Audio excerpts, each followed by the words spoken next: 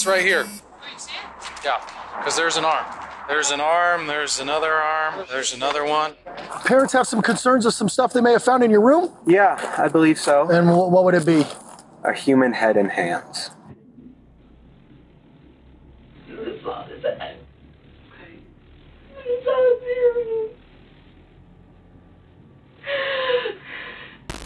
Now, one is John. What's the address emergency? Hi, there is an emergency. I found I found something in my son's closet wrapped in a plastic bag. Okay, what was it? I think it's a human head. It's a what? I think it's a human head. On March 1st, 2021, police at Grand Junction, Colorado received this chilling 911 call. A mother has just discovered a disturbing secret hidden within her son's closet. Even more terrifying, he's currently just outside the house while she makes this call for help. Why do you think it's that? Because it looks like it's all an ear. Is it all? Is it bloody or does it like anything like that? I just told you to come. So do I have to take a picture and send it to you? What's Can you the just address? come? The dispatcher tries to get as much information as possible to make sense of this shocking call and give officers an idea of what they might be walking into. Is your son there now? He just pulled up. We wanted to make sure he was here before we called. How old is he? 19. He's had a little bit of a fascination with the morbid, but he was channeling it, I thought, into becoming a crime scene investigator, but not so much. Do you think he's going to be cooperative with us? I don't know. I don't think he'll be violent. Just came back from his friend's house. Does he have any weapons in his room, or do you guys have any in the house? I don't know. I think that he has a shotgun, but we can certainly remove it immediately before he gets in his room. He's out by the car now, so. Is the bag still in the closet? No, it's in my kitchen sink. And there's a secondary bag that I have not opened. It's currently covered with a towel. And there's a The second bag. is taking, yeah, there's a second bag that I don't know what's in it. I didn't open it. I'm sorry. Did he take? The, he took the second bag out of the closet? I took the second bag out of the closet and put it in the sink. Where's Brian now? I think he's still outside. And you're in the backyard now? I am, yes, because I don't want him to hear me. Despite the horrifying nature of this call, police could not have anticipated the twisted tale of violence they were about to embark on. Nor did they have any idea just how shocking the motive behind the inexplicable horror would be. One day prior to responding to this harrowing incident, the emergency services had attended to a rather unusual call at 2 a.m. on Sunday, February 28, 2021. 19 year old Brian Cohee Jr. is having a bad night. As officers arrive at the Blue Heron boat ramp, they can scarcely believe their eyes. The majority of the following footage has never been seen before. It's been analyzed by a qualified team, including a licensed professional counselor, a licensed clinical psychologist, and a former detective, former licensed polygraph examiner, and former hostage negotiation commander and instructor. How do we call a tow for that? I don't know, because he'd have to get in the friggin' water. Yeah. I Black's Towing. They want me to text them a photo of the car because they think they might be able to pull it out. Okay. Um, So you already have, you're already in contact well, with them? yeah, but I have, I only have like 10% battery left on my phone, and now he wants me to text him a photo of the car, and I'm like, oh, good lord. Um, I can take one and text it to him for you if you'd like. oh, that would be fantastic. Thank you. It's not every day that police officers see a car floating in the Colorado River. To try and make sense of what they're observing, the officers speak to Brian's mother. He uh, is an inexperienced driver. Okay. Put his car here on the angle and got out and like just looked around like, for a moment. And when he went to get back in, he wasn't able because of the angle to pull it out. I don't know. He's, he's right there. Okay, wanna we'll talk to him real quick. Sounds good. Officers decide it's best to get the story straight from the horse's mouth, and 19 year old Brian has no choice but to own up to his mistake. Little do these officers know, there's a sinister secret lurking in the background of this crazy story. Is your son right here? Yep. Hey, partner, you want to come out talk to me real quick? Sure. I Appreciate mean, it, I'm really cold. Is it okay if it's in here? Because off his pants because he had Okay. submerged. That's fine. I didn't. I did not know that. No, Yeah. that's, please, please, please stay in the car. All right. Nobody else in the car. No, Okay. no, just us. I'm the father. That's the mother. and This is our son. He just like Sounds called us 20 minutes ago and said, "Dad, I parked at the boat ramp and I messed up. I tried like, to get out of the car and it slid down." Well, you're not hurt, right? You're okay. No, just a little cold is all. Just beside your pride a little bit. and probably seven thousand dollars. Okay. All right, man. Um, do you have your ID with you, driver's license by any chance? Thankfully. What were you doing down here, bud? Well, I felt like I needed to get out, like, and I figured, why not park here and just just relax a little bit, relax and think. Okay. And I parked on the boat ramp, and I thought it would be easy to get out. Uh-huh. But when I tried to, I Where did put you it- park exactly? Were you down the hill a little Oh, bit? yeah, just a little bit. okay. And then when he got back in, go ahead. When I got back in, I tried to put it in drive, Mm-hmm. and it didn't go up. So then I tried putting it in low gear, shimmying it a bit. That didn't work. Were you facing down? No, at I was point, or were facing. you I was facing facing up. You, Okay. you, you, and you, you back down? Yeah. That's a really good Because idea. It's a predicament so ridiculous that the responding officers can't help but laugh. How we're gonna handle this, man? 'Cause I don't know. Do I get a tow going for a car in the river and see if anybody will take this? I'm gonna work on that. I don't brother. know, man. So I'm kind of glad you were coming down here because I was like, uh, it's not a crash. He just dude, it's like parked eight it feet out in the water. He parked it and basically couldn't get it up. It just lost traction, looks like, and then he, he actually went in it. I just down in the water. He's not hurt at all. So I'm like, how are you gonna get this car out if possible? I don't know. The officers are convinced that this is a teenager's mishap. It will be some time before they begin to suspect that there's anything more to this story than what they've been told. We're gonna get some options for you here, man. I'm not sure exactly if we're gonna we're gonna see if we can go through the list if anybody's got some ideas on getting this car out of here Okay. or not. I don't know.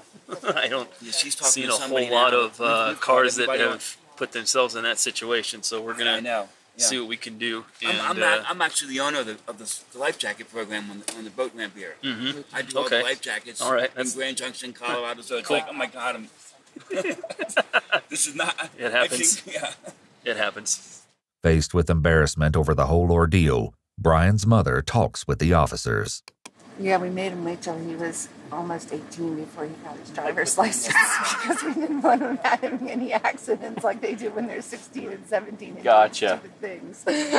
but stupid usually doesn't have an age limit, I guess. Yeah. Not gonna lie, this is my first time too. Really? It's a new one for me. What's that? So I've never seen one of these either, so it's a new one for me. On my on my website, backing up when people back up their boats, I see accidents when, they, when a truck goes accidentally in the water. Mm-hmm. Next thing you know, the boat and the truck's in the water. But Lost him. Just let me know if he does. That way, if, if not, we can try and get hold of a tow truck and Okay. go from there. No, it's at an angle. It's heading upriver. It's facing upriver. Yeah. Yes, the for, the front of it is facing upriver. Oh, damn it. I'm sorry. It keeps losing the call. Ah! and he's like, I don't want to get wet. I don't have the proper clothing to go into the water and get wet. Yeah. Hey, Robert. Well, you know, I, ju- I was just talking to the patrolman, and they're suggesting that we just adjust this in daylight hours. That's why they make the big bucks. They're smart. Nobody, nobody wants to get in the water. I hear ya. At long last, the officers make contact with the towing company willing to come out to the river in the middle of the night and risk the frigid waters. With help on the way, they finish things up with the Cohees. If you guys want to stay warm, you're more than welcome to jump in that car and stay where it's warm. Does he need to stay here? I'm Or sorry? Is he, is he free to go? He would. I'm sure he'd like to go home and get warm. I'm sure he'd like to get some pants on. yeah, right. yeah, I, it's not a crash. It's Okay. Simple It's just mistake. a stupid Nope. act. Just So- stupid teenagers. Okay. All right. I'm going to take him home then, and then we'll come back here and figure out what's what with the tow truck driver. Terry and Brian Sr. take Brian home, but they soon return without their son to the boat ramp. Nearly an hour later, the tow company is making progress. But as the car nears the shore, the officers make a disconcerting discovery. Hey, quick question for you. Sure. So the back bumper, I don't know, you can probably see it from here. It's a lot of red on the back of that, dripping down it all a little bit. But underneath the license plate, a little area right there. Okay. Okay. A lot of red, which means looks like blood. Blood. Yeah. I don't know if your did your son hurt himself on his I way don't out at all. know. He might have, he just didn't know it. I don't know. That's a good. That's why I'm asking. It's a good question. He's at home. Is he make sure he's not got a cut or He just said he's going to bed. something out on him somewhere that he's not aware of? Maybe because his uh, adrenaline was a little high. Maybe just have him do like a self check, make sure he's okay. Hello? Brian, are you okay? They see blood on the back bumper of the vehicle. Really? Yeah, did you get hurt? No, what? Are you sure you don't have any injuries? No, I'm fine. There's blood on it?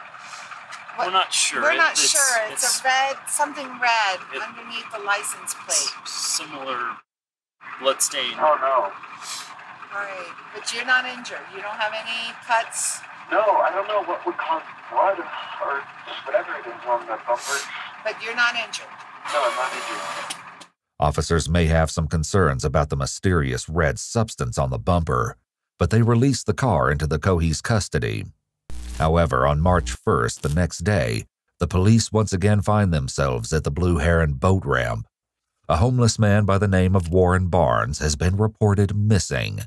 Officers speak to the woman who called in the report. How do you know Warren? Um, I own Monique's Bridal downtown, and I give him a chair to sit and read his books. Um, When was the last time you saw him? Saturday, five o'clock. I said, "I'll see you tomorrow, Warren," and he was like, "Okay," meaning he planned on coming down on Sunday, and then he did not show up. So I'm thinking if they saw him Saturday, maybe it happened more up there because it's weird. He would never come down here. He would never come all the So way down doesn't, he here. doesn't So have a camp down here or anything? no, he worked for People Ready, and someone found the wallet and called People Ready this morning, and they said that everything looked like it was in there because he doesn't have much. And I just gave him twenty dollars for beer, so I know that he had maybe a couple oh, bucks. So they found his wallet just down here at the boat Yep. ramp. Monique Lanati has forged a special friendship with Warren over the years. So why did you? What uh, raised concern with you today to report him missing? Because the place People Ready called to see if I had seen him because he didn't show up for work, and he's never once not shown up for work in the four years he's been working for them. So I said no, and that I hadn't seen him since Saturday. He was camping down here. No. No, she's never seen or heard of him being down here. Never that's why. work That's and why then- I'm freaked out because there's no way he walked all the way down here and his wallet just So, appeared. in how many years? Did he Four work years. for? Yeah, that's as long as I've known him. Officers soon find that Monique is not alone in her concerns about the missing Warren Barnes. He literally shows up every morning, every day without fail, like at six o'clock, sometimes a little sooner. And we always let him in before the customers. We give him free coffee. He's the nicest old man ever. Do you talk to him at all? All the time. Hey, So good. every morning it's around six. Yeah. Without like, fail. co- Without fail. And he's the nicest guy ever. Rough looking, but he is the nicest guy. Monique gives officers a photograph of Warren in the hopes that it'll help with their search. So that's uh, the only picture you have of him.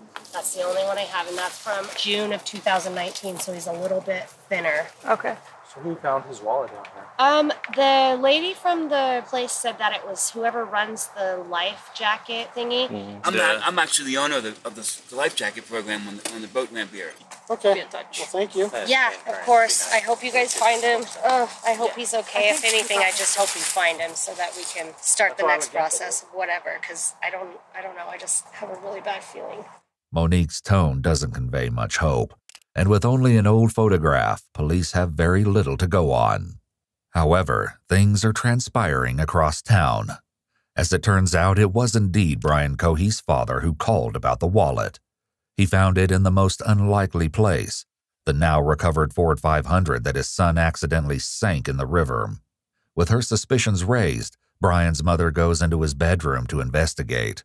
It's March 1st, 2021, the day after the car incident at the boat ramp, and Terry Cohee is about to make a horrifying discovery as she opens her son's closet. I think it's a child. What's a what? I think it's a human head Why do you think it's that? because it looks like it. it's on ear.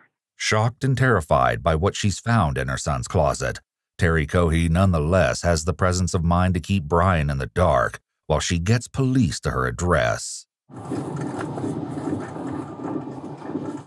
Deputies from the Mesa County Sheriff's Office arrive at Brian's address, wisely leaving their sirens off as they approach.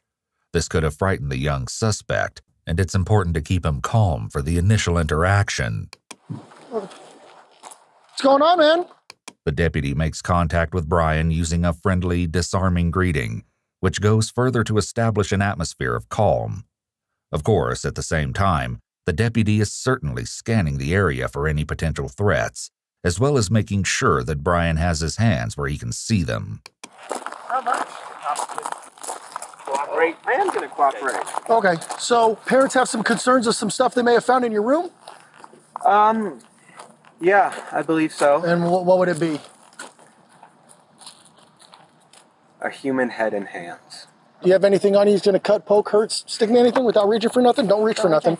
My phone and my Oh, wallet. That's okay. it. Well, I'm gonna have you face that way. Put your hands on top of your head for me, real quick. I just want to make sure you interlace your fingers for me, real quick. All right? It's important that the deputy only ask enough questions to figure out exactly what is going on at the scene. And while this is not the kind of encounter that even a veteran police officer would be accustomed to, it's Brian's parents who must slowly absorb the shock of their son's admission. I'm gonna have you walk over here. You're gonna sit in the back of my partner's patrol car for a minute, okay? Not yet. Okay. Just sit back there and hang out for me, okay? Can you walk me inside, Let's please? Walk, let's walk you all through this, what happened in the very beginning. Okay. Let me do it. You go inside. You Well, let's- let's stay out here with Let's me for a minute. Sit, sit down. Come on, sit down, baby. Can, can I go in there and verify here Oh, first? yeah, please. Let me Uh, we haven't through that. seen it. Yeah, we okay. haven't looked at it. It's under the towel in the sink. Okay. Yeah, and I... Annie, stay with your mother. Give her a... Hey, Just make sure that guy goes in the car first. I can stay here. You can go in the same place. Uh, well, yeah, okay. right there. No, Yeah. you can understand. Yeah. House is empty. Okay. We had a bad feeling about what happened this weekend. And she said there's a bag in this closet, and she opened it up. And she called me and said, get over here right now. The deputy correctly asks for permission to enter the house so that he can confirm the grim contents of the kitchen sink. I covered it with a towel. Okay. So I didn't want him to see it because we didn't want him to run. I don't want to look at it.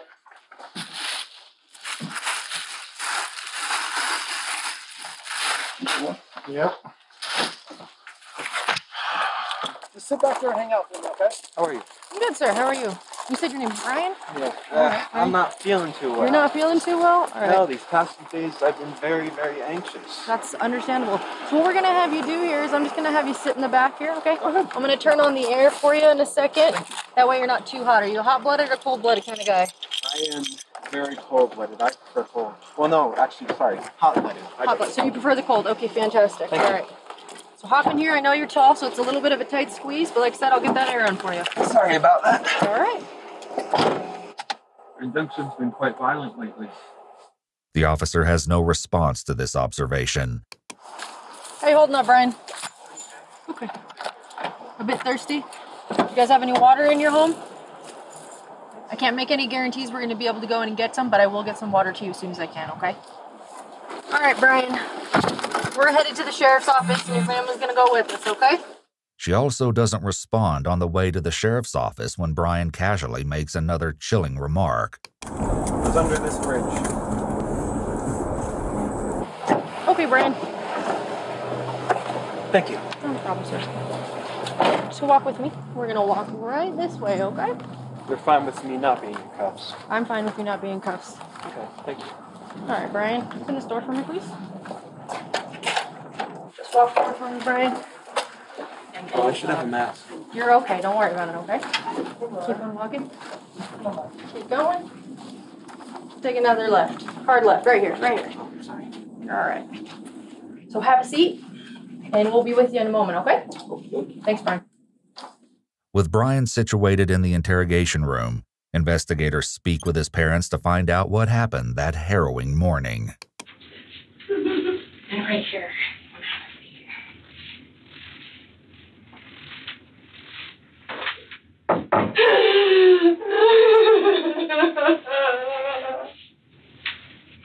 Just take your time. Take as much time as you need, okay? So I know very little about what's going on today. So, um, what started all of what's going on? Terry relays the incident at the boat ramp. So we have the car towed back to address, and of course, with the battery being wet, you know, nothing was operating. And so my husband was cleaning out the car because he was going to take it into Scotty's see if they could maybe salvage it. Okay. And um, he found the wallet. So he called me this morning, and he said, found a wallet in Brian's car. Oh, and the officers thought that there was blood on his car. Okay. The night that it was in the river. Okay. The scene, and, uh, you know, he had just had a procedure done on his armpit a few days before, so I thought maybe the adrenaline opened that back up, and that's where it came from. I don't know. And he said, I don't know where it came from. And he took special effects class last summer, which involved fake blood. And he's like, you know, one of those fake blood containers first in my trunk is probably that. And I was like, okay, that makes perfect sense. However, his father, Brian Cohee Sr., found something even grislier in the car's glove box and decided to confront his son. Went back out there this morning just to continue, and I opened the glove box, and there was a knife in the glove box, underwater. The glove box is full of water. Very large knife. And then, as I go around the passenger door, I open the passenger door, and there's a wallet in between this door and and I open up. That's not Brian's wallet. It's frozen solid. Like, let me try it. That's not Brian's wallet. So I take it inside. And I end up getting one of the wallets of cards out. There's a Labor Ready. I read that. So I call it Labor Ready. And then another one, another one, there was a social security card. I was like, hey, this is a weird call, but I've got a wallet here with so and so's name, and I'm I'm hoping he works for you all, or he's an he, he, you, you subbed him out or whatever. Mm-hmm. Oh yeah, my one, we've been missing him. Yes, he didn't show up today. Oh my god, no, I'm not a missing person. Okay, well, I found his wallet at Blue Hen Boat Ramp. So here's my name. Here's all my information. If you get a hold of him, tell him I've got his wallet here at my house. Okay, so I left that like that. Called Brian. Brian, what's going on? Why is there a wallet in the car? Oh, I found it down at the ramp when I was down there walking around. And, and he was so sincere. I, I, I took it all. I want to believe him. He's my son. Sure. We found out, Brian, how come, and all this going on in the last two days, Well, how come you didn't tell us about the wallet? My dad, I was just so excited with all the going on. My car getting towed. Look at this wet now. Won't start. To, I, I didn't think about it. I didn't think it was important, Dad. I'm like, Brian, who is one? Who is this one whatever guy? Mm-hmm. Dad, I swear to you, bottom, I only know one one. He's my school friend. It's not him. I, I, I believe him. There's blood on the that on the bumper. Right. And I'm like, like a smear of blood. And right. I'm like, that didn't come from that cut. And I asked him, ten, right, tell me the truth. I, I knew. I didn't want to believe it. Something was going on. Had that gut feeling. Despite the red flags, the family put the strange accident at the boat ramp behind them. But no one was prepared for the spine chilling discovery Terry made the next morning. I was in his room, cleaning up, putting some things away, and he has a Rubbermaid container in his closet. And so I just kind of started digging through, going, you know, what's what is this mess? You know, like moms do. Sure. And I saw a plastic bag, a white plastic trash bag. And I was like, what in the world does he have in here? And I picked it up and it was heavy. And I held it in my hands and I was like, what in the world is this? What in the world? Is it like maggots covering something? Or I don't know. I better take it in the sink. So I carried it out to the sink and it was double bags. So I ripped open one bag and I saw my old blood. Okay. And I went,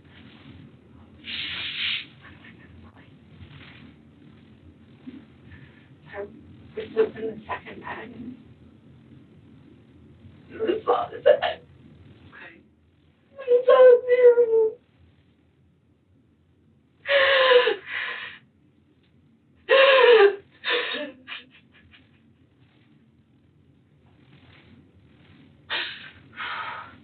I didn't open the second bag. Okay. I called my husband. I said, Brian Jr. had already gone over his friend's house. He said, Mom, I want to go over to Kai's house.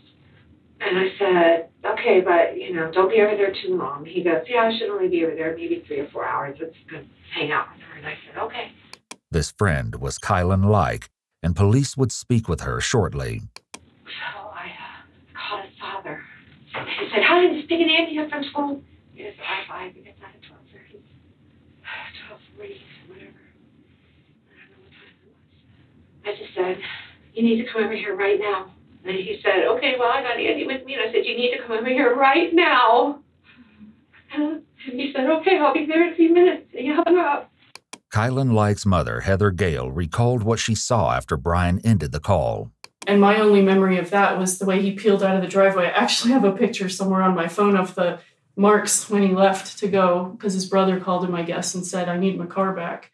We know, of course, that this was a ruse on the part of Brian's parents to get him back to the house after their horrifying discovery. Brian, my husband, was already there by that point, and he put a towel over top of. So it's not that for me bed. So we hatched a plan to call Brian and tell him that his brother needed the Mustang for a driving license because he's on his learners. And just as he pulled up, I called him.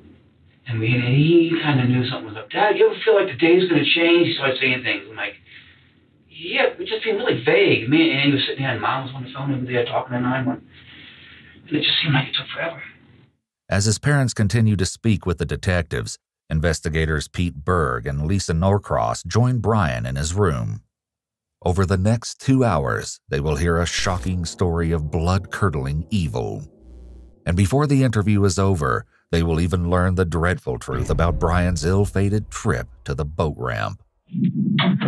Oh, thank you. Right. Well, this is Lisa. She will try. Hi, how are you? Okay, yeah. Good, thanks. Never really good. Okay. Trade any seats? Uh, sure. Ooh, this is a special chair. No, this is the special chair because it's soft and I'm old. Brian is as cooperative and pleasant with the investigators as he was with the deputy who escorted him to the sheriff's office, but his nervous shaking and insatiable thirst indicate he is perhaps not as calm as he's trying to appear.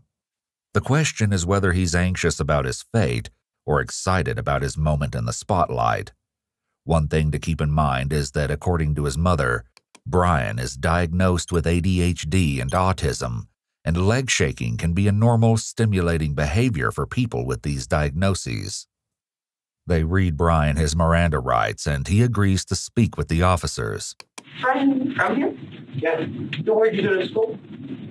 I've uh, went to Broadway Elementary School just across from my dad's house. Then I went to Bookcliff Middle School. Right.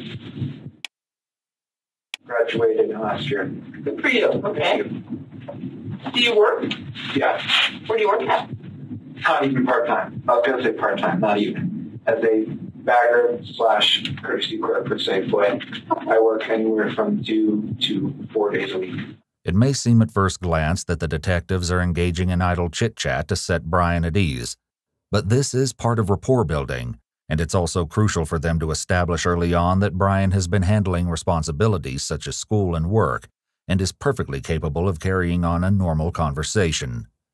This will make it much harder for Brian to claim before a jury that he was unable to tell right from wrong. And how did you get here? I murdered someone. Okay. It seems that investigator Berg was merely asking how Brian physically arrived at the sheriff's office, but Brian doesn't stand on ceremony. With a tone and head tilt that suggests he's bragging, Brian makes the ultimate confession. In fact, he's all too willing to discuss this horrific crime with detectives. To start back to the beginning and go slow and tell me as many details as you can remember. So, because I mean, Murray going to jail for the 15 years probably. I have no idea. Because we're at the beginning. It's, it's murder. I mean, I'm going to jail for okay. 20 probably, but um, so I figured why fight it? Okay. Um, so what's important to me is to learn as much about you and what you did and as I can. Well, many details as you can give me, the better. Brian's polite exterior only adds to the surreal depravity of his confession. He's somewhat of a unique suspect. Yeah, it was the night of February 27th. It was a full moon. And I figured I could see so well, why not drive out? I am in a bad state of mind at that time. I have major depressive disorder, so I am not thinking, shall say, positively. Okay. And I'm cruising around for an hour, an hour and a half. Um, so I fill up on gas halfway through, and I'm eventually driving underneath the bridge near the sheriff's office. I'm bad with you. I'm bad with words. I'm just. Yeah. By the way, I'm a habitual late shaker. I have a question. Mm-hmm. You send people who have committed crimes like me. Do we stay in this county jail or are we moved? It all depends on what the judge says. Brian maintains his spirit of cooperation, but he's clearly concerned about what happens after this interview is over. It's interesting to note how he compares himself to others with the phrase, people who have committed crimes like me, almost as if he has joined an exclusive club. So we were at the bridge. Uh, yes, I was at the bridge. I was cruising. So, yeah, I was. There was a road underneath, right? Uh-huh. Uh, under the overpass, and I was driving along, and I see a shape here on the railway tracks. So I'm like, oh, interesting. So I go up, and as I'm looking, I see a large thing wrapped in a canvas. Okay. And I'm like, that's a homeless person. So I grab my knife, I put on three layers of gloves because plastic gloves can betray their users because they're so thin, the final gloves, mm-hmm. by printing your fingerprints through. So I put on two, three on one hand. I took the knife, I pulled back the canvas, and I stabbed his neck. Okay. He was panicking at first in his old man voice. He was in his fifties. I know why. I know why I call him old man. He was saying, "What are you doing? What are you doing? Why? Why?" And I just kept on stabbing his neck. I was. Is it okay if I do a demonstration? Oh yeah. This is him. I was straddled on top of him like this. Okay. And uh, he couldn't fight back. It was actually surprisingly easy. I was barely breaking a sweat. I thought, oh, this guy, he's going to be tough. But no, it was actually surprisingly easy. And during the time I was growling and making animalistic noises. At this point, there can be no doubt that Brian is excited to tell the investigators all about his horrific deed.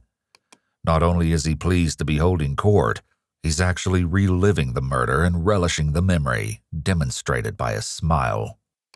As for any question of this crime being premeditated, Brian admits to having put on three layers of gloves, which he already had with him. The whole ordeal lasted about a minute, minute and a half. Okay. And when I was finished stabbing him, he took out his last breath, a grunt, and his head was halfway cut off in stabs. All the while, no, actually, after I killed him, I just couldn't stop saying, stinky, dirty, dirty, stinky, stinky. It wasn't, I wasn't smelling anything, but in an eerie coincidence, on one of his social media accounts, Brian identifies himself as that stinky boy registered under his email ID. And why were you saying that? I don't know. Okay. But you remember doing it, so. Yeah. I suppose it was just me speaking out my mind at that moment. It was a pouring out of the mind. Were you worried about, I mean, this looks like it's pretty close to the road and stuff. Somebody seeing you well, or catching you? It was 11 p.m., okay. so not many were driving by. Well, it was behind the pillar. So, like, here's the road. Uh-huh. It was here. So people would only see a brief thing here and here. So were you worried about them seeing you? I was worried about one of them stopping. But what did you think could happen if somebody... Well, if they looked, well, it was quite dark under there, so they wouldn't have seen the guy unless they looked. Um, they would have seen me holding a bloody 12-inch knife, okay. wearing gloves, and wearing a mask to conceal my identity, a face mask. Okay. So you weren't doing it for COVID, you were doing it to hide your face? Um, partially. Social distancing. right. Um, uh, yeah, but no one stopped. And I'm just like, huh, proves the bystander effect. His laughter and offhand comments speak to his mindset, which is that nothing is wrong.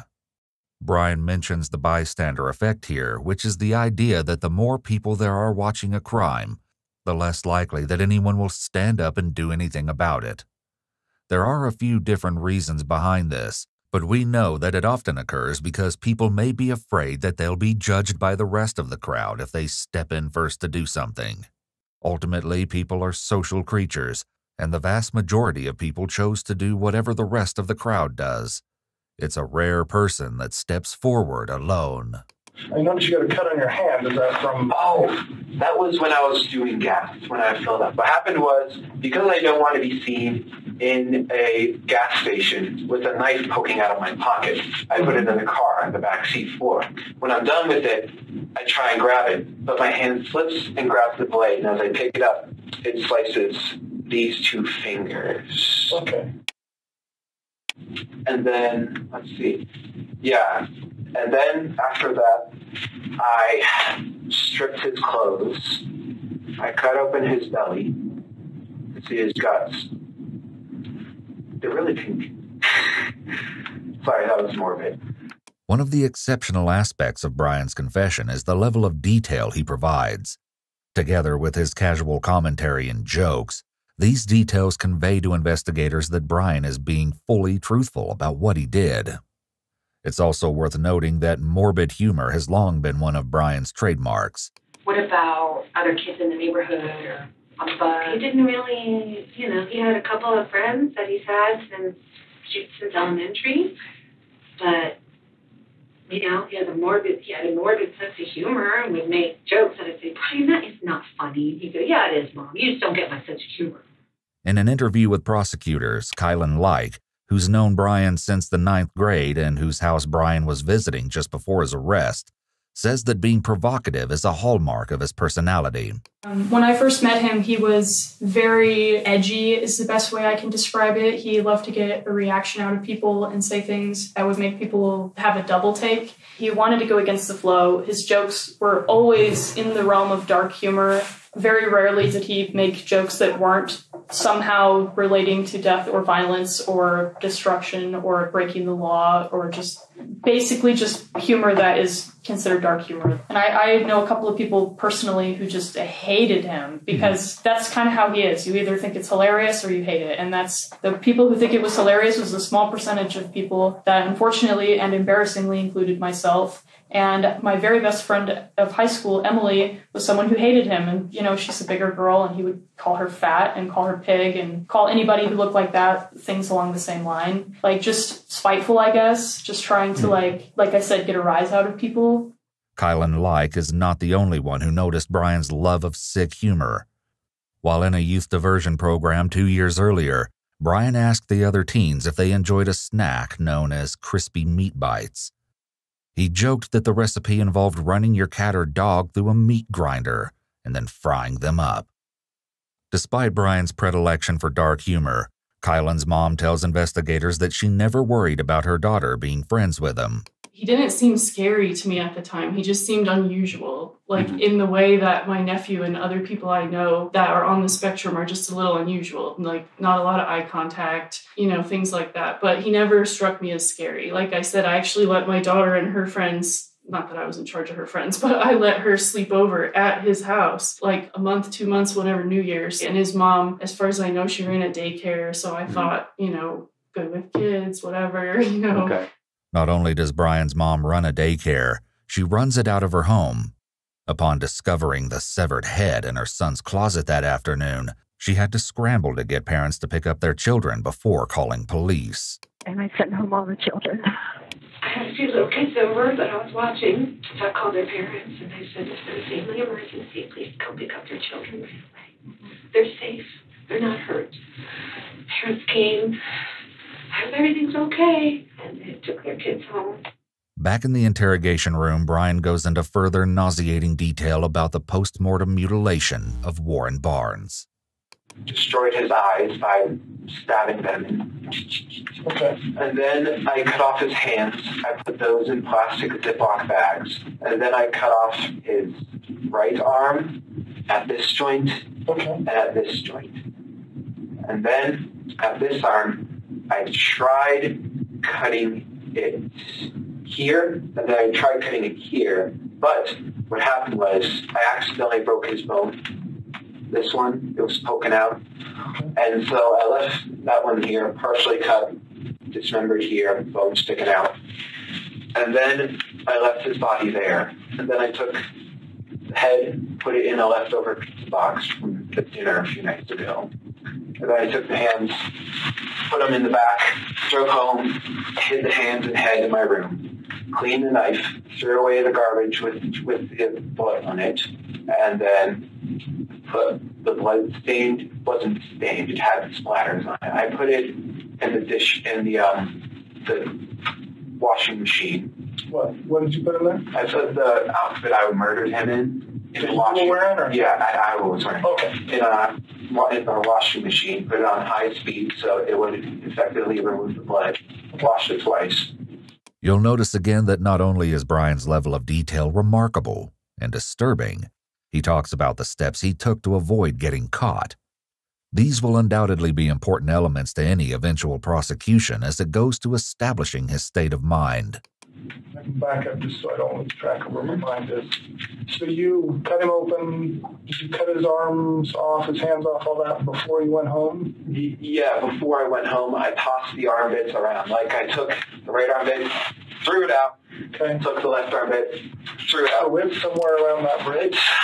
Yeah, but look in a because I know crime scenes can be a very wide area. Mm-hmm. You're going to want to look in a five in a ten foot area. So like this is a zoom in. So here's the road. And here's where my car was parked. You're going his corpse is here. The interview continues to get more and more bizarre.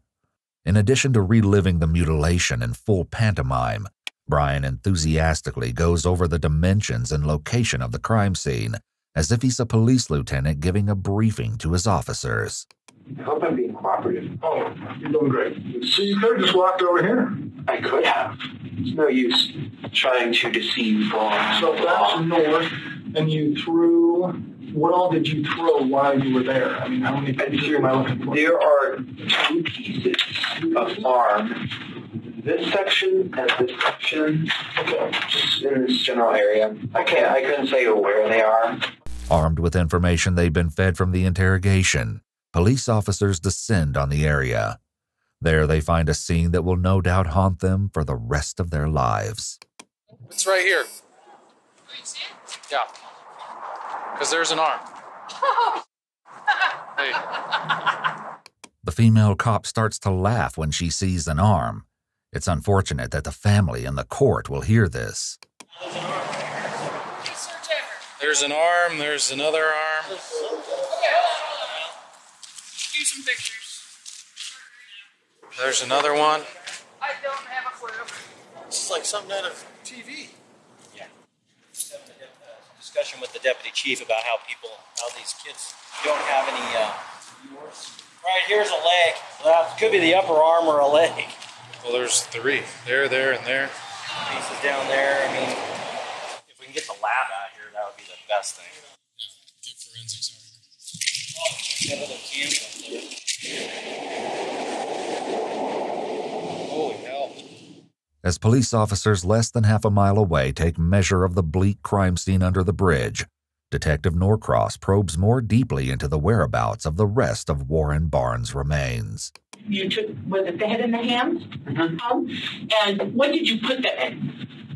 Well, there's a three rule for bodies. I like to call it the three rule. Okay, tell me about that. Three days, the body starts to stink. No, three hours, rigor mortis sets in, the body stiffens. Three days, the body starts to stink because of decomposition. Three weeks, the body is starting to seriously decompose. Right, right. Three months, the body is unrecognizable. Three years, it turns into a skeleton. And may I ask how you know that? I just, I've always had a fascination with forensics and with anatomy and physiology. That's something I made up. So that's something I, I don't want to sound like I'm inventing something. But that's what, that's why I coined the three rule. You kind of remember it that way. Yeah. That's your way of remembering. Is remembering it accurate? Well, somewhat, somewhat.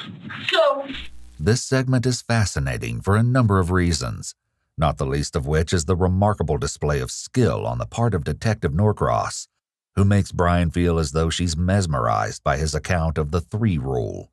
She gives him a moment of validation at the end, and Brian's satisfaction is obvious.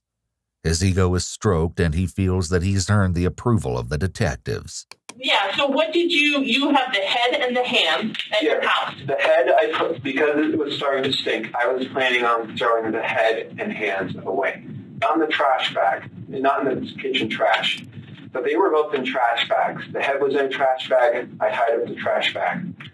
Hands, I put in a trash bag as well. They were in Ziploc bags.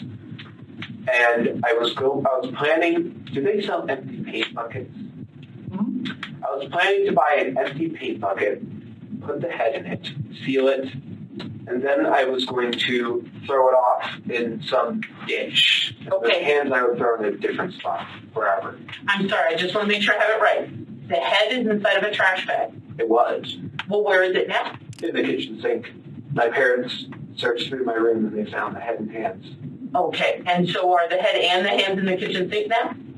Last time I checked. Okay, so they're in the kitchen sink now because your parents put them there. But they were in my closet. As of now, investigators have only found a head, hands, and several pieces of arm. That leaves the mystery of where the rest of Warren Barnes is. What exact kind of trash bag? White. White, like a kitchen one, or what? Like a kitchen. Okay, white kitchen. One that you put in a trash can. Yeah.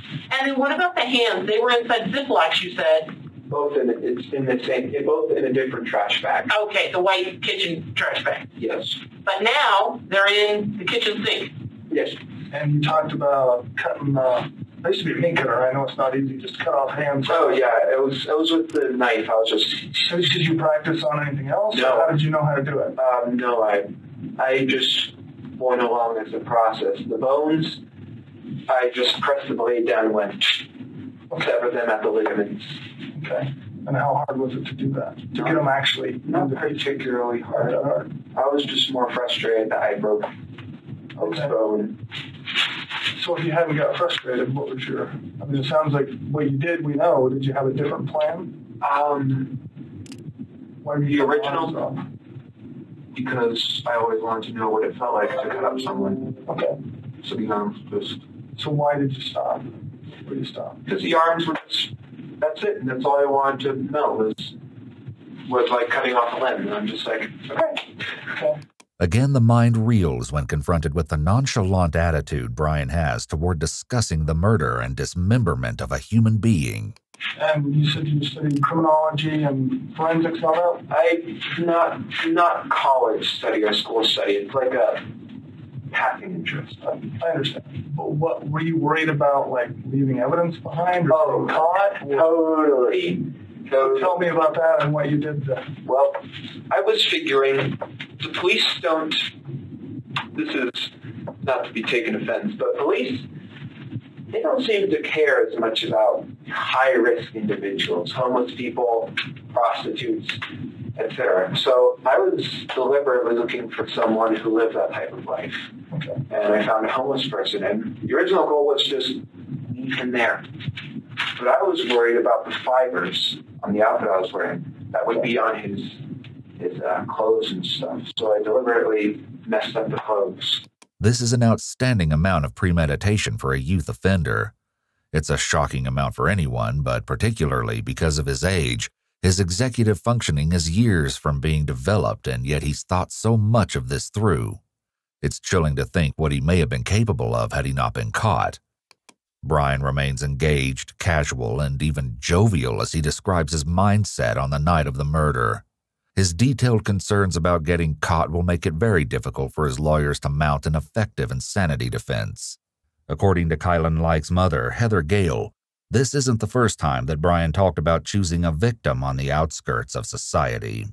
Anything else you've even things you've heard from Kylan come to mind? She told me that he had mentioned that he would that he was going to kill a homeless person because nobody would miss them and he could get away with it. Yet once in an interview, Kylan tells a different story. He never talked to me about wanting to kill homeless person specifically, but he definitely talked to me a lot about like killing. And I was actually surprised because I figured that if he was going to do something like this, that it would be on a larger scale. Like I thought he would I don't want to sound vulgar, but I figured if he was gonna snap, it would be like shooting up a store or something similar like that. And he mm-hmm. had mentioned like not liking his neighbors, so I thought maybe something would happen there. So I was actually really I was surprised that he had killed someone, but I was also surprised that it had only been one person. So how long have you been planning or looking for someone to do this with before you found this guy? About a year. About a year? No, six months. Brian's internet search history adds an interesting element to this as he looked up homicidal thoughts every day and how to cope with murderous thoughts. So you come close or seen somebody or chickened out or anything in the past? No. I mean, I was looking for a deliberately secluded place like that one. I wouldn't just go up in Clifton and find someone walking down the street and stab them. No, that's that's too public. Everyone sees that. Well, have you looked like at the homeless places or anything in the past? I have, yes. I'll go on night drives often, maybe once every two weeks. Now just peruse the streets. So before this guy, how close had you come in the past? Not at all. Not at all. You just drive around and yeah, look, just try and find. Is anybody interesting? And no. In your mind, thought of a plan? Well, occasionally when you see girls walking down the street, uh, I take a glance at them because um, it really is like Ed Kemper, where half of me says, "Well, I'm, I'm quite inept with women. I'm being honest. I'm no Casanova." But half of me says, "I want to take that girl home and make her feel nice," and the other half of me, just like what Ed said, is I want to see what her head looks like on a stick. Brian is describing a mindset that's detestable, yet he delivers it with a smile and a laugh. His obvious excitement in describing both his mindset and the murder raises questions about his psychological history. As well, another internet search Brian made reveals that he may have considered other sickening plans as well, as he searched for how do people react to a home invasion. However grisly Brian's sense of humor might seem, it's again worth noting that it's a trait his friends are familiar with. One of Brian's friends, Patrick Rahor, spoke with police. Our, our whole friend group was like really weird. We were like all of those. We are just a group of people like didn't really fit anywhere else and ended up like finding each other at different points throughout school. We were just all kind of weird together. And so like the off filler stuff and like anything that like seemed weird, I just kind of like took for Brian being Brian and just kind of tried to accept it. However, even his friend must admit that Brian was different our friend group would joke about if there was one of us that would like be a killer, it would be him, but it was like meant as a joke and only as a joke. I don't think any of us actually thought that something like that would or could happen. If his friends thought this, was there a chance that his parents did too? Tell me about Brian. Does he have any kind of mental um, issues or disabilities? Five. You were told he had ADHD. Okay, so we put him on ADHD medicine. I think it's academic during the summer or weekends only when he middle school. He started exhibiting antisocial behavior, just saying things to get kids riled up and thinking it was funny. And then when he switched to Fruita High School, he did okay in ninth grade, tenth grade. He got in a lot of trouble, a lot of behavior issues. Eleventh grade, we had a big meeting, and they said kids don't so we put him in R5. We took him and did some, some testing for ADHD and whatnot through Division of Rehab. And the doctor had said, yes, he's ADHD. Yes, he's autistic. Yes, he's this. Oh, and there's some indications that that he should get further testing because of potential psychosis. And I asked about referrals and called, and nobody in town to see him. Okay, well, he seems to be doing good. You know, he graduated high school. He works at Safeway, and he's been working there for a year in August, and he's there part time. And he said he's not taking his medication, or is he on medications now? He's on ADHD medicine. Okay. That he takes before work on his part-time job, and he takes um, sertraline, which is an anti-anxiety, antidepressant. Okay, so he's been diagnosed. And to the best of your knowledge, is he actually taking them? Like, do you watch him take I them? don't or? watch him take them, but I have the alarm set, and every night at 10 p.m. I say, Brian, take your medicine. And he says, I know, I am. And as I've looked at his pill container, I mean, it's going, you know, seems to be seems to be going down. Okay. So I assumed he was taking about, I'm thinking three years ago? I'm guessing, I don't know. because we had him going to counseling. He was going to counseling, and he just thought about it. It just came across his head. It was just, but then I think everybody thinks about it. But I just why I remember one of the times when he was really lonely, and that was an issue. You know, we were kind of concerned about that. He made jokes about making nooses or doing that and doing that. Okay. But I don't know. I just played it off as normal talk. But I'm like, you know, Brian, we wouldn't, you know, I, I didn't know the depth of the water. I don't, I don't understand. He's obviously sick. He's obviously very sick because we've noticed weird things about him. Just, some days gets cold. Just, just he looks at me and he has this cold look on his face. Just like he's been so far, Brian makes no qualms about admitting his battles with mental health. You say you have a major depressive disorder? I'm just curious what those are. Actually, I have several. I have high functioning Asperger's. I have ADHD and uh-huh. major depressive disorder. Okay. Major depressive, so you were wondering what that last is? Yeah, I know what they are. I was curious, yeah, if you, what the exact diagnosis was and, and who diagnosed them. They tested me for autism for a formal diagnosis, came back Asperger's, Uh-huh. which is high functioning autism. Yep. And they also said I was schizo something. That isn't me misremembering. They just said you have you're schizo something, whether that be schizophrenia, schizoaffective, schizotypal, or schizoid disorder. They said I was I had something that was schizo. The detectives are once again trying to delve into Brian's psychology, attempting to prove that he knew right from wrong at the time of the murder. His search history adds another layer to his story as he looked up extreme paranoia, schizoid and paranoid personality disorder, and avoidant personality. I was never formally diagnosed with anything like that. Do you feel like you had that? I don't know. Possible as hell. Self-diagnosing uh, is foolish. Yeah. But do you, you know, schizophrenia is pretty clear because people I don't have recognize they have a different personality in there. I don't have any hallucinations. I have, I had have delusions, I guess. Okay. Like years ago, I thought I was obsessed with people staring at me. Okay. I felt people watching me from every window. The birds were looking at me, watching me. Okay. Greater purpose.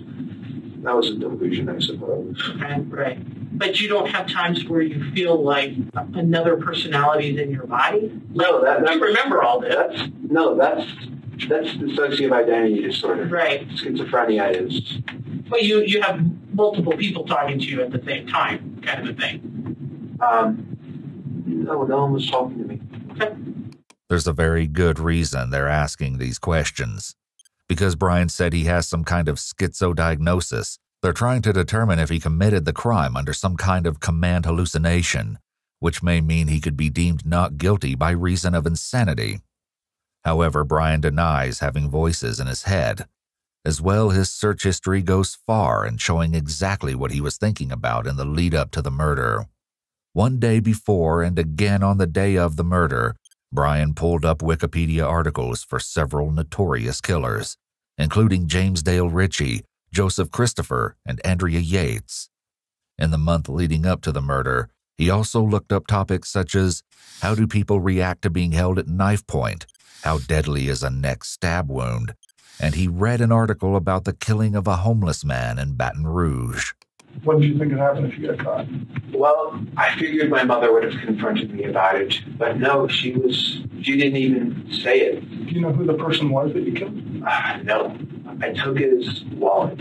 I didn't look at it. I just picked it up, briefly scanned over it, and put it in my car. Apparently, it was Warren. My mom told me this before she found out that the missing person was Warren Brown, born in '63. Brian doesn't seem particularly interested in knowing more about his victim, and the detectives turn Brian back to the subject of the evidence.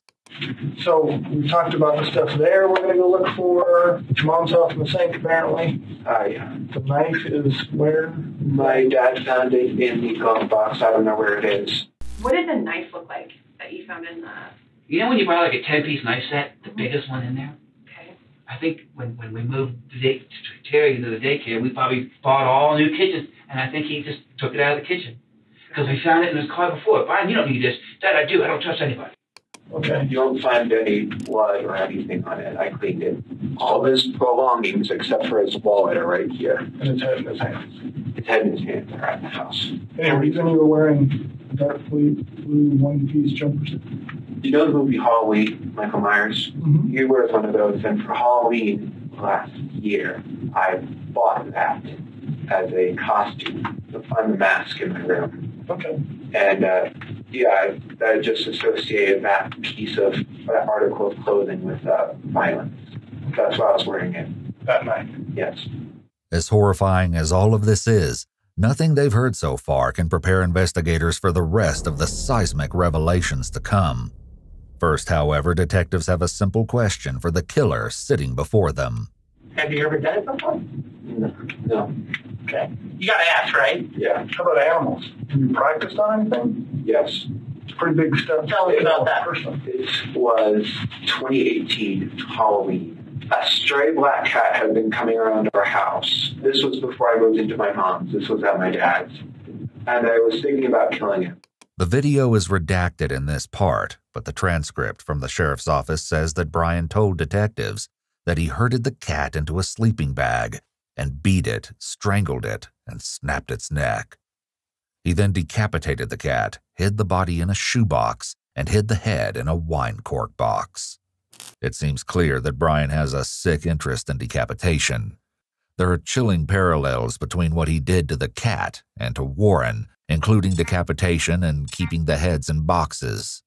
Both times he preyed on those he knew were vulnerable and that he believed no one would notice. And then I disposed it in the trash and got away with it. Okay. That cat. Did you keep them for a while like you did this guy, or? I kept it for three days. Then it started to stink. Is that where you got the three days and it stinks? Also because bacteria starts to float the body after a day to three days. So The story that Brian might have killed a cat is actually a widespread rumor in Grand Junction. Um, did you ever hear about Brian, either from him or anybody else, about him killing a cat? Yes, I remember hearing about it, but it also just sounded like made up rumor, so I didn't really like think anything about it. Did you ever talk to him directly about it? Like ask him if it was true? Might have. I don't really remember. Do you ever remember him saying, yes, I did that, or no, I didn't? Anything like that? Okay. But you'd heard rumors that possibly it happened, but never really got to the bottom of it? Mm-hmm. Patrick is not the only one to hear rumors of this type and ignore them, saying it was some kind of a sick joke. I know that there was another girl in that class who told me that she lived near him in that neighborhood and that they were always missing cats. And she felt like he was stealing cats in the neighborhood. And honestly, I don't remember if I found that out through him or through friends. Mhm. But yeah, I definitely know about the cat. Did you believe that, or did you think it was just Brian saying something outrageous? Honestly, I don't know. I think I believed it, but that I didn't want to because I am a big animal lover, Mhm. and that's just, I didn't want to see my friend in that kind of light. I remember my friends just talking about how messed up it was, and my friend Sean said that he knew the person whose cat it was, and he was super upset because the cat was like super friendly or whatever. But I don't think I ever heard it around Brian himself. In a redacted portion of the interrogation video, Brian admits to finding a dead groundhog by the side of the road, which he skinned and attempted to make leather out of approximately a year before the murder. It sounds like you killed a cat. Well, actually, I was thinking of killing people during the cat, but I wasn't acting on it. Um, but I started seriously thinking about killing people a year ago. How about when you were 12? Did you think about killing No. people? So what in your life has changed or what in your mind has changed to make you... I don't know. Was it like something all of a sudden one day you woke up and thought I'll kill someone or was it a gradual It was gradual, I think. So tell me about when those thoughts first started happening.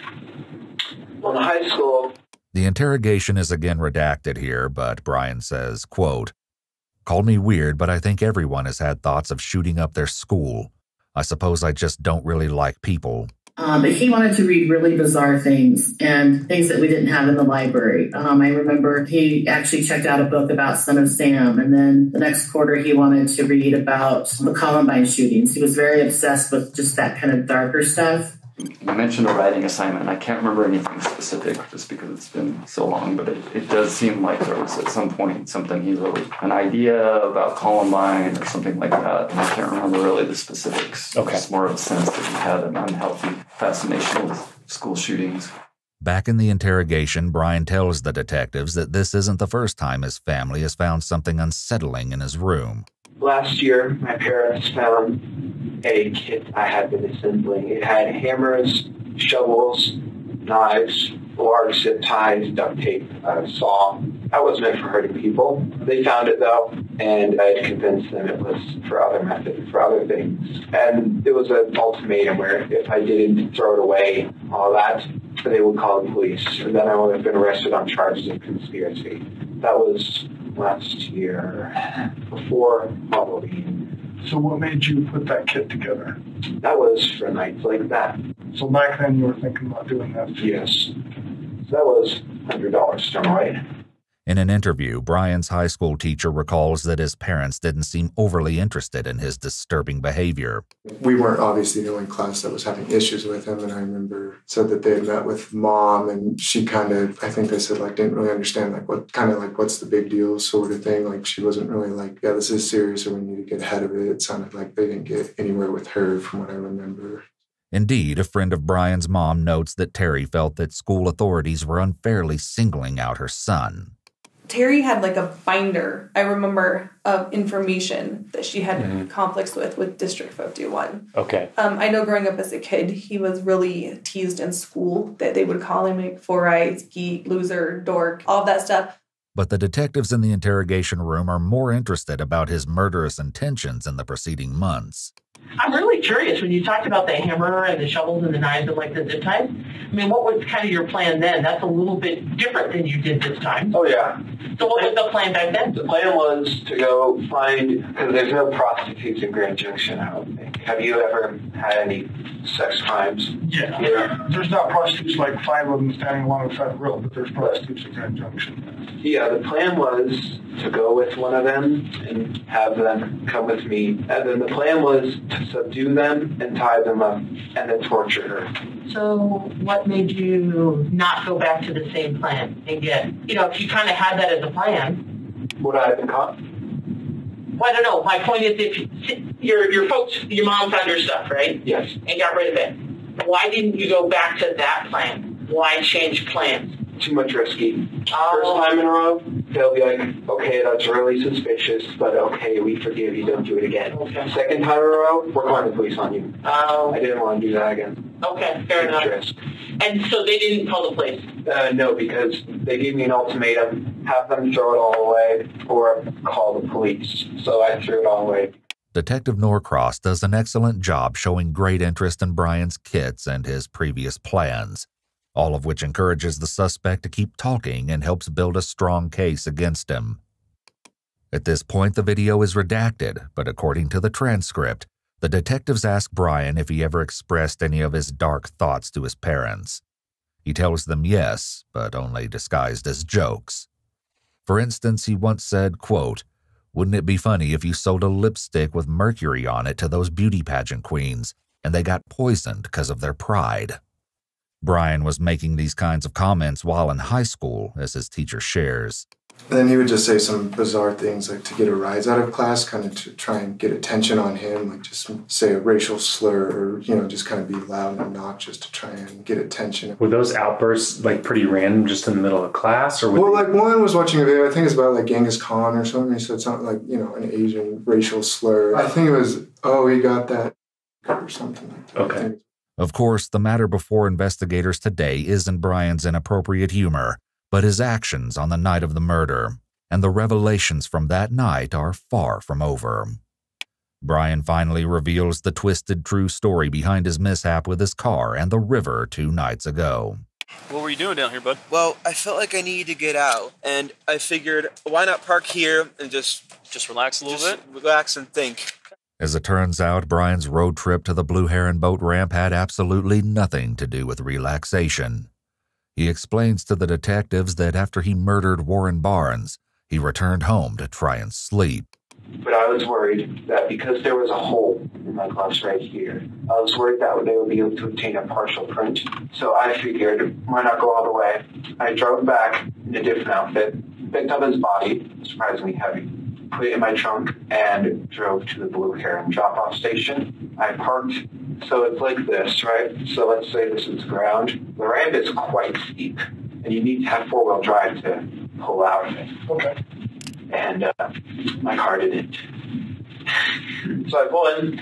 I thought that I could drive out because I put it, I put it in reverse. A, so that it's easier to pull the body out, and B, because the back tires would provide propulsion to push up.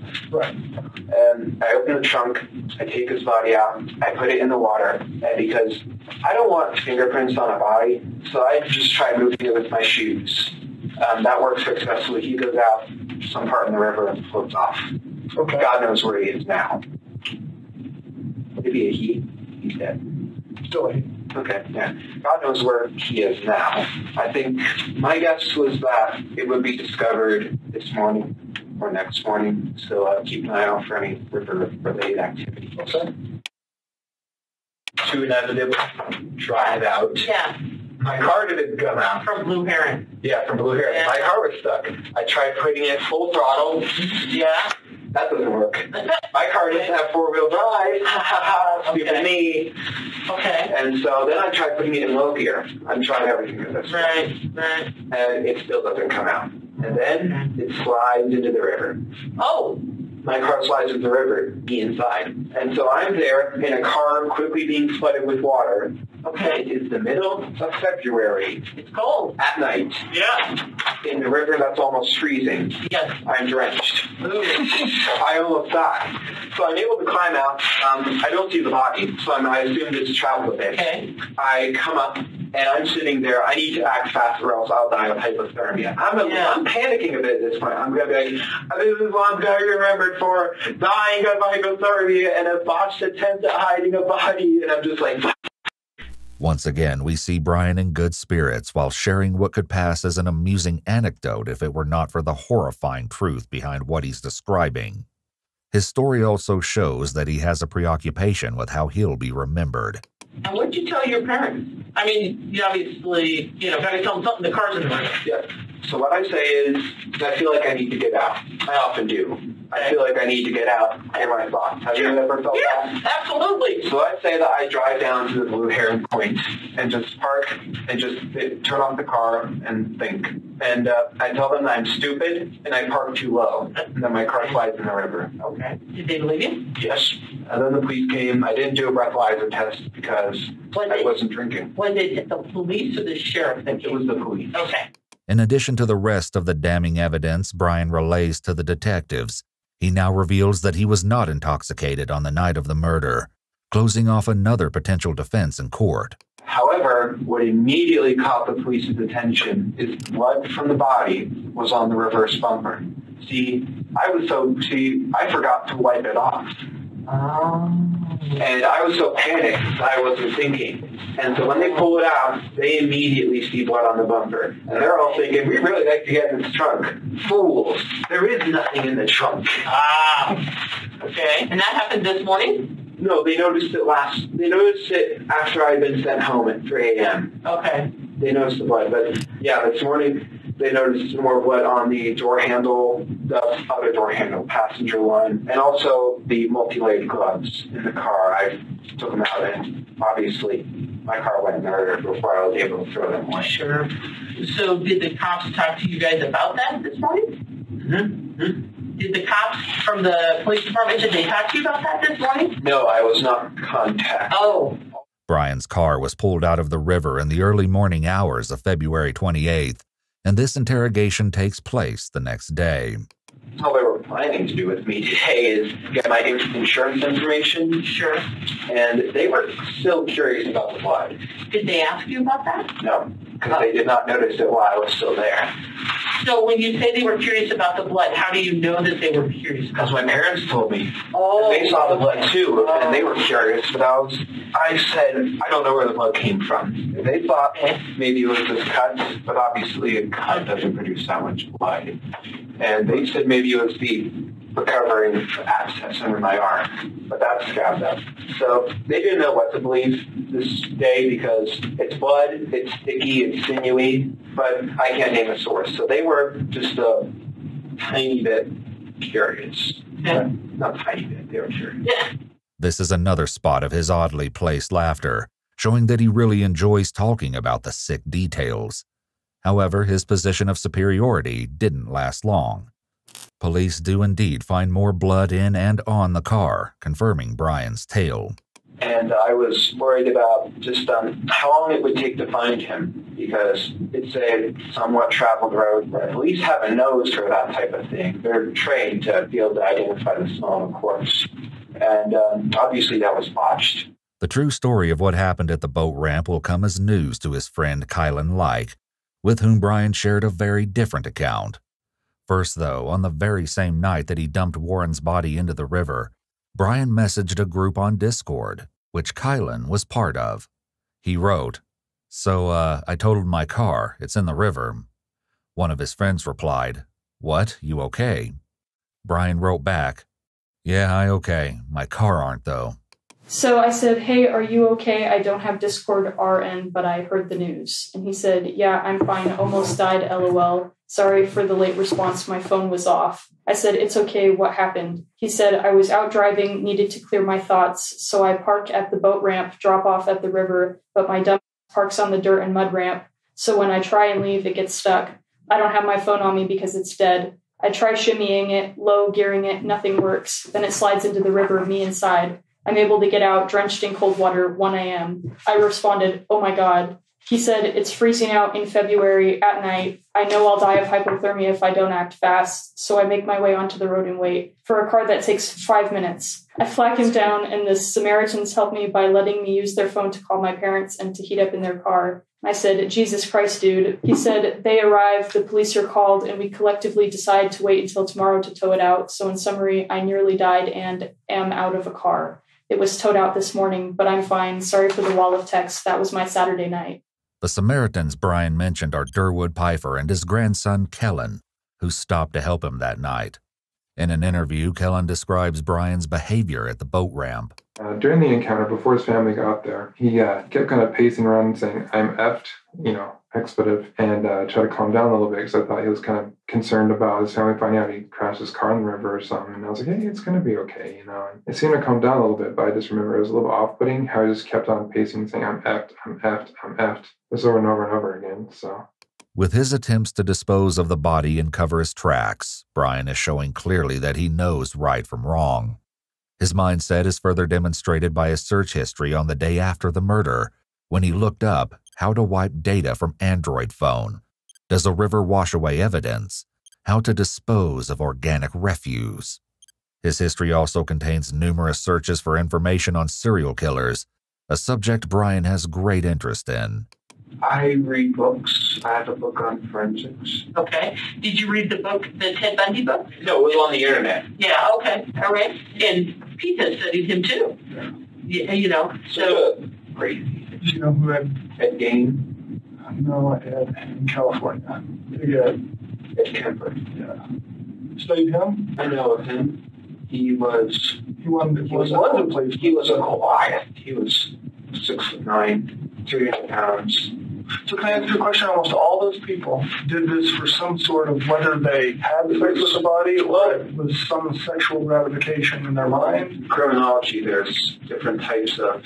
I'm not a serial killer by no means. But with serial killers, there's different types of them. There's organized, disorganized, visionary, missionary. I'm just wondering what what gets you excited about doing it. Well, I'm not really sexually attracted to it. Okay. I was just asking. Brian's statement that he found no attraction to the concept of murder is doubtful given his excitement at the chance to relive the killing by telling the officers every little detail of the crime. Still, the detectives are determined to figure out the why behind Brian's gruesome actions. So uh, I'm curious about the cutting him up, taking parts of him home. Have you ever thought about? So it sounds like you've had like Ted Bundy sex type stuff. Ed Kemper just kill people because you want to kill somebody, plus the sex stuff. Um, how about Jeffrey Dahmer? It wasn't really, it wasn't really inspired by it. It was just more. I'm just trying to think of all the people like these people can do it, so can I. Brian's claim that he's not inspired by serial killers is somewhat undermined by that last remark. The following part of the video is redacted, but we know from the transcript that Brian tells the detectives that his nickname in high school was Jeffrey Dahmer. He says he had a reputation that he would become a serial killer. When we would do different group activities, sometimes we would have like different personas or whatever. Uh-huh. And he'd be like, I'll be Jeffrey. I'm like, no, you're not. I do remember that specifically. He was very obsessed with Jeffrey Dahmer. And is it Dylan Klebold, the Columbine shooter, was obsessed with him. I remember actually talking to my mom and saying, take this name to your prayer group. I mean, and I remember talking to another teacher and saying, if any kid's going to shoot up at Fruita Monument, it's this kid. In an interview, Brian's high school friend Patrick Rahor recalls a Halloween party they both attended. Do you remember a costume that he wore? Yeah, he wore a Jeffrey Dahmer costume. Okay, um, and I heard he was also he was Mike Myers one year. Was that he was actually Jeffrey Dahmer? Does that? I might have been mixing up the years because there was we had a couple of Christmas Okay. parties, but I or uh, sorry Halloween parties, but yeah, I think he like dressed up as a serial killer, killer a couple of times. When he was, I guess Jeffrey Dahmer. How would how did that look? I guess how how did his costume look? I mean, it was like jeans, a plaid shirt, and like big glasses, which honestly was like not too entirely different from what he normally wore. His obsession with crime, serial killers, and all things morbid was something that his parents had noticed too. a lot of perse- on crime and crime scenes. And so he was talking about going into the military in the fall, and when he gets out, having your job. And so I had purchased online a crime scene investigation book for him. You know, it's like ones that could you probably read it when you first started out in college. And so I gave that to him, and I was like, "So here, Brian, you know, let's channel that curiosity into something positive that you can affect a good change in the world." And he's like, "Yeah, that's my plan, Mom." I'm not going to say always had a fascination. You know, I'm going to say in the last few years. And is it like shows that he watches, or like tries to do things just to create a scene? You know what I mean? Like whether it's like animal stuff or um, nothing. No, like he that. loves our dogs. You know, I mean, he's very affectionate with our animals, and you know, he would watch. You know, like just just last week, he watched Silence of the Lambs, but I was like. Well, he's 19. What sure, you know. probably all watched it. I, I, I watched it. It doesn't make me a serial killer, you know. Right. And he watched The Zodiac Killer over the summer a couple of times. Brian's affinity for Jeffrey Dahmer wasn't the only warning sign observed by his teachers. Like the first week of school, we had a meeting with all of his teachers and his case manager, expressing the concerns that they had with him and also explaining some of his behavioral issues. Did anybody um, express that they had concerns he could be a serious safety issue or anything like that? Yes, I believe so. We were to keep a very close eye on him, and it's certainly very apparent early on that he was a very troubled person. In the 2019 school year, one of Brian's teachers found a notebook filled with a number of disturbing elements. So I remember we I don't even remember who found there was like a notebook. I don't know if it was part of a notebook check, my student teacher, another student, or somehow it got brought. We had a meeting with Officer Bomar and the administration out at Fruita just because it had some obviously concerning stuff talking about like serial killer statistics and stuff. Like he mm-hmm. seemed to be kind of enamored with that. So that was kind of the and they asked us, did we think he was like a threat to us or other students? And me and my student teacher didn't feel like he was gonna do any harm to anyone on the school. So famous serial killers, some information about Yeah, like um, yeah. kill counts and just stuff like that. Okay. Like that's not entirely normal. The disturbing contents of the book discussed by Brian's teacher far exceed his initial portrayal. Within its pages lie numerous troubling entries detailing Brian's fixation on serial killers and other disturbing topics. Among these, Brian has devised his own cryptic code or alphabet. Furthermore, Brian's brief profiles of his favorite killers paint a grim picture of his unhealthy obsession with destruction and depravity. Additionally, he outlined plans for taking lives and holding strong opinions about his own purpose and actions. The book was also filled with quotes about his beliefs in neutral evil. One such quote read A neutral evil villain does whatever she can to get away with. She's out for herself, pure and simple. She sheds no tears for those she kills, whether for profit, sports, or convenience. This is far from the only warning sign that emerged during his time at school. In December of 2018, Brian was arrested on assault charges when he hit another student with a homemade mace. When I had kids give speeches, I always told them to get do a attention getter. And so it was the day of his speech, and he wanted to go first. And he pulled out this Indiana Jones like whip that he fashioned out of masking tape. So to start the speech, he of kept hitting the podium. Of course, everyone looked, and then he gave his speech. Then later that day, you know, he ended up beating or whipping one of our side by side developmentally disabled students at the bus stop. In early 2019, he was suspended after intentionally causing a student with PTSD to suffer a panic attack. In a subsequent meeting, school administrators conclude that Brian has a high potential for violence and presents a high risk for the school. However, despite being apprehended for his behavior and his several run ins with the management at school, Brian's mother, Terry Cohee, has a strikingly different opinion about the incidents. When you talked about the school stuff and having lots of issues, what were the issues that they were having that made other kiddos not feel safe? He would make jokes that were not appropriate. He got suspended a few times, like for behavior that wasn't acceptable. Like this one girl that he knows very well, he knows that she has a lot of issues, and that loud noises frighten her. And so, you know, one of his school suspensions was when he came up to her in the hallway and clapped really loud next to her you know, knowing that it would put her in a panic, and she cried, and we were like, "Yep, no, you knew that would upset her, and you did it anyway." And he got suspended for uh, weapons, but it was there was another boy who brought in nunchucks to school on the school bus, and Brian was like, "Wow, cool!" And I think this was in 11th grade, and so Brian was like, I think Brian had given out some candy to some kids on the bus, and so Brian was like, can I check those out? He's like, I'll bring you in I could give you some candy. So Brian gave the kid candy, and the next day the kid comes on the bus with two sets of nunchucks. One are glass, and the other one, I guess they're like rubber. I don't know. I don't. I never actually saw them. He's like, I know I can't take the glass ones because I'd be in trouble for that. So he took the rubber ones and he put them in his backpack. I don't know if it was in his backpack or in his jacket. There was some differentiating stories so the teacher saw them and they said, What's that, Brian? And he was like, Uh, nothing. You know, and so Papa Omar, you know, he was like, you know, we have a prohibited weapon on school grounds. And I'm like, okay, well, what about the other kid that brought them in? And they said, that kid doesn't have the behavior issues that Brian has. And I'm like, oh, so you're punishing Brian because he has behavior issues. I see. So Brian went through probation and he completed it successfully. In fact, his father, Brian Cohee Sr., believed that his son was incapable of such violence. He's got friends he hangs around with, you know, respectable friends, not friends that would ever, not those kind of friends. Sure. Clean, good friends. Okay. You know, the, the, the, the worst they have is they play video games. They drink too much Pepsi. We, we're thinking we're doing good. Our kids are both doing good. They're, they're okay at school. They don't drink or smoke. So I didn't really have any, no warnings that this was going to happen. No. You know, he, he may say a cuss word once in a while. No, he's never never hit anybody ever. Okay. He got in trouble for throwing a tape ball at school three or four years ago, okay. and they I think they they wrote him up for it because it hit somebody. But the football players can nail like jazz with a football. But Brian, he just and he got in trouble for that.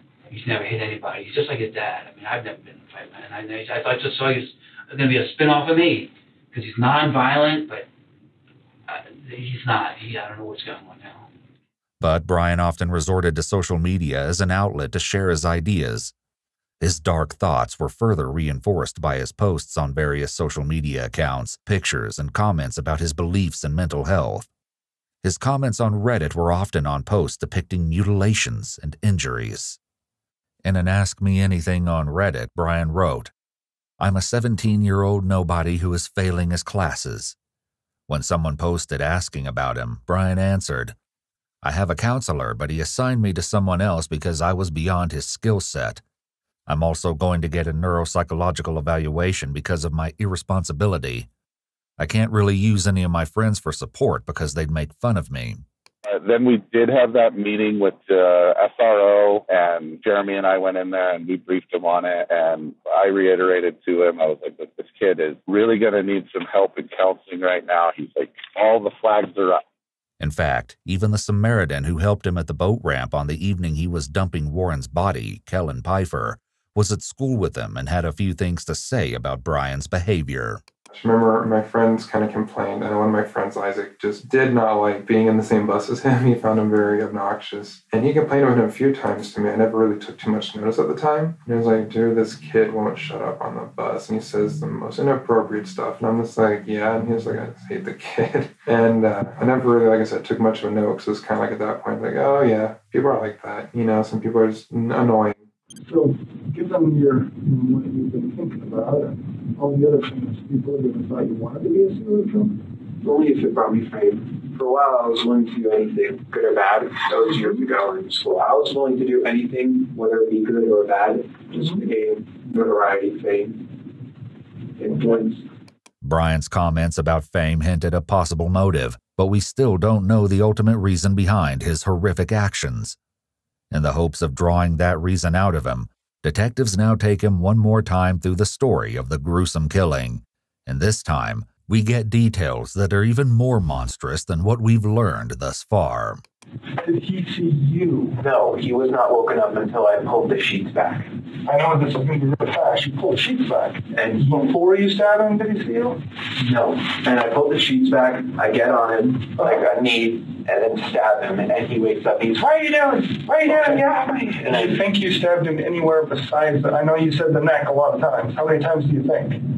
Did you count? No. I was going until he stopped. Okay, how many? Just your best idea how many times? 30 or 40. Okay. Said the neck.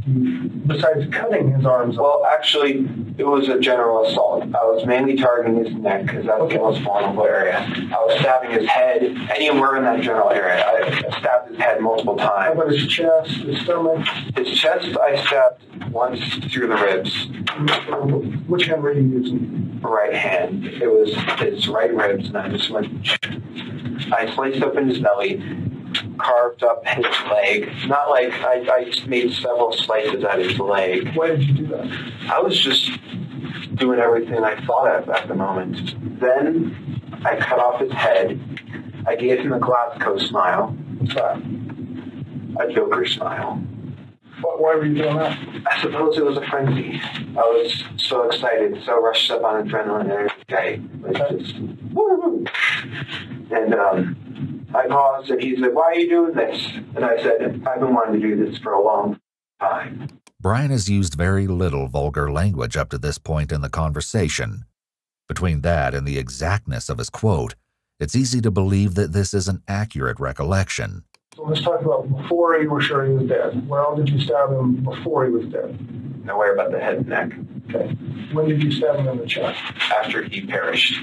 Okay, and how did you know he perished? He let out a final gasp. Okay.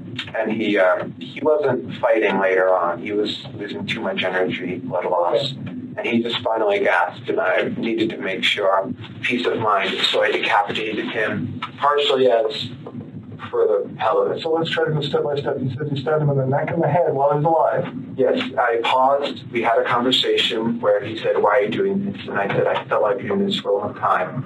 I continued. He, he uh, died, deceased, whatever you want to call it. And then I stabbed his ribs, opened up his belly, sliced his leg multiple times. Okay. Derobed him, and then decapitated him, removed his hands, his joints. Did you derobe him before or after you opened the belly? After I opened his belly. So you cut through his clothes to open No, I lifted up his shirt and just... Okay. Which way did you go? Like a deer this way or like this way? No, this way across his belly. Okay. If what Brian has admitted to so far has not put a sick feeling in your stomach, the gory details to come will surely do so. He was You very... didn't see his heart or anything? No, he was very thin. I thought about taking out... What all do you think you saw? Is What do you I think? What do I... internally, what did you see? I saw his liver, his large and small intestine, and that's it. Some of it was yellow. I was thinking about taking out his heart. I was thinking about crushing the ribs and disemboweling him entirely. Okay. Did you disembowel him at all or just cut him open? I cut him open, but his organs spilled out by themselves when I was dumping him. Anything else? Did you take anything besides his head? Like anything internally? No. And how did you know it was his liver? I mean, you ever go hunting or how do you know it's somebody's liver when you open them up? It's dark, purple, brownish. Okay. It's large. Up here. I just knew it was. I've taken anatomy and physiology, okay. so I knew it was his. That makes sense. I was just curious if you've ever seen one before. You're just guessing, or how you know. I've seen some. These nauseating details are quickly followed by another shocking piece of information about the night in question. Did you take any pictures that night? Yes, but I deleted them. Okay. Entirely. Where did you take pictures? Um, after I killed him, I took a picture of him, his hands, but I deleted all those because those are evidence. Okay. I don't know if you can find them, but. When you say you deleted them entirely, that's an interesting statement. What do you mean by that? I removed them from my phone, deleted the pictures. Okay. With some assistance from the U.S. Secret Service, investigators are able to extract the deleted photos from Brian's phone. Nonetheless, Brian's care in deleting the pictures once again show that he was highly interested in covering his tracks, showing us everything we need to know about his state of mind in the wake of this awful murder. Did you tell anybody about what you did before today? No, I haven't told anyone that I committed murder. Yet that very morning, Brian texted his friend Kylan Like, asking if he can come over to talk. Once at the house, Brian concocted a story that Kylan's husband, James Bailey, thought was ridiculous. What I remember, he came over, he was acting super weird, and he was like, I gotta tell you guys something. I think the police are trying to frame me for a murder. I found a body, I was like messing with it, and I got my car stuck in the river, and I had wiped blood that I had on my hand onto the car, and the tow truck guy saw it, and like, I think that they're gonna try to frame me. I thought that he was I thought that, like I said, at most he had found one okay. and was just trying to be edgy because he found one or something like that, or even to the point where he could have just been making it all up just because, again, I didn't know him personally. I was planning to maybe keep a finger. Okay. Yeah, got that far yet. No. Line finger. That's small, not that much space. It won't smell that much. Makes sense. Easy to keep. Brian has provided the detectives with everything they could possibly want to know about the murder. He's detailed the killing not once, but twice, and he's even revealed stomach churning details about the disposal of the body. The one question that remains, however, is an enormous one. Why? And Brian's reason why is perhaps the most twisted aspect of all. You know, Brian, I have to ask a lot of people that we have talked with. They're you know, silent. Well, or they're just not as well spoken as you are, to be honest with you. You're very articulate. You're very articulate. I think I'm bad with words. No, I actually think you're really articulate. And you you talked about you were just kind of in a bad space that night. It was, yes. Okay. Why were you in a bad space? I didn't take my medicine, and plus, for years, I was wondering what murder would feel like because read Ted Bundy and the Zodiac, they all say murder is the best feeling in the world. So I'm like, I'm going to try that. So for some time, I had been wondering when it would happen. I always knew I would be in this building, whether it was as a criminal or a police officer. As shocking as it is that Brian's motivation comes down to a simple matter of sick curiosity, his last remark is almost more unbelievable. As mundane and evil as Brian's motive may seem, it's not one he made any attempt to hide, even as he first talked to police in front of his house the young killer was fully upfront about his curiosity. Like, for real human head and hands? Yes. From? That fellow who went missing recently. Which fellow was that? Warren Brown. Warren Brown? When did he go missing? The night of the 27th. Okay, and how did you end up with him? I murdered him. With what? A knife. Why would you have done that? I've always wondered what murder felt like. Brian's teachers were all asked an identical question. Um, when he when Brian was arrested, were you surprised to hear that? No, I was not at all. You know, I remember when I saw the story on the news, and you know, you're like, that name sounds so familiar. And then you're like, I guess I wasn't surprised, if that makes sense. I mean, I've been doing this for 23 years, and I know you can't really go off gut feelings, but it just, I just always felt uneasy around Ryan. Like there was, you know, and just like he needed much more help than we could offer him in a public school setting. And so when I saw that, I hated to see. I wasn't necessarily surprised that his path could have led to that point. Were you surprised to hear about what happened on the news? No, I wasn't. I, w- I was more let down by the system because like we had called it out that he needed help, like with all those kind of flags were going off, uh-huh. and it still happened. Back in the interrogation, the detectives try to find out if Brian's curiosity was satisfied by the murder. So, to see what it felt like, what did it feel like? It was intense. It was a rush of adrenaline. My whole body was shaking. Not like out of fear. It was like it wasn't yeah, it wasn't fear, it was just pure what's the word? Um excitement, I suppose. Not excitement as in joy, just excitement as in increased heartbeat, Mm-hmm. sweating, that type of thing. Like an adrenaline jump. Yeah. Although I wasn't breaking a sweat killing the guy. It was quite easy. Well, did you enjoy it or not enjoy it? Um, did I enjoy it? I don't know.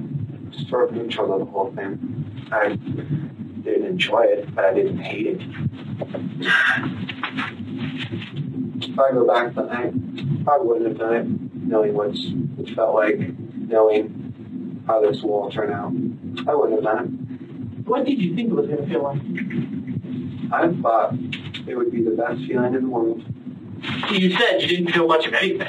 Um, excitement, Oh, that's right. Okay. but other than that, no. Well, let us step out and figure out what, where we're going next, okay? Okay. The interrogation is over, and Brian seems highly satisfied with how he's cooperated with the detectives. He's enjoyed every minute of this conversation, and it seems that he at least partially achieved what he set out to do. He seems to see himself in the same league as infamous killers such as Ted Bundy. Brian may be done talking on camera, but he still has one last comment to make. According to Detective Berg's official report, when he walked Brian to the booking department, Brian smiled and said, I feel like Hannibal Lecter right now. Brian Cohee Jr. pled not guilty by reason of insanity in January 2022. This plea triggered a psychological evaluation. Noting the matter of fact way he presented the details of the murder, the doctors asked him how he felt about the killing in retrospect. Brian said, quote, Yeah, it's just kind of a thing that happened. It sucks, but it happened. When asked what about it sucks, Brian mentioned that he was now locked up, couldn't see his friends, and emphasized that he really missed video games and the internet. He did not, however, express any remorse for the victim. So I don't know what's going to happen now. I don't know how we got to get some kind of advice or find out what to do. Or if she has her own business here, and I have my own business, and I carry the same man's name as my son. Right. And, I, and now it's gonna, it's gonna be all over the paper. Brian Cody killed somebody. Right now we can't do anything. Well, and, you uh, we can't go anywhere. We can't. I'm not working anymore. She can't have any more kids anymore. It's all everything's over. It's all done now. It's over. Our lives are totally over. A jury ultimately rejected the insanity defense and found Brian Cohee Jr. guilty on one count of evidence tampering, two counts of tampering with a deceased human body, and one count of murder in the first degree. Because, I mean, Murray going to jail for 15 years probably. Contrary to Brian's estimations, he was sentenced to life in prison without the possibility of parole. He's currently serving out his sentence at Buena Vista Correctional Complex in Colorado Springs. Monique Lanati reflected on how she would want her friend to be remembered. If I had to say one word about Warren, he was amazing. A permanent metal art memorial was installed next to Monique's bridal downtown, carefully crafted to reflect Warren Barnes' favorite pastime reading books.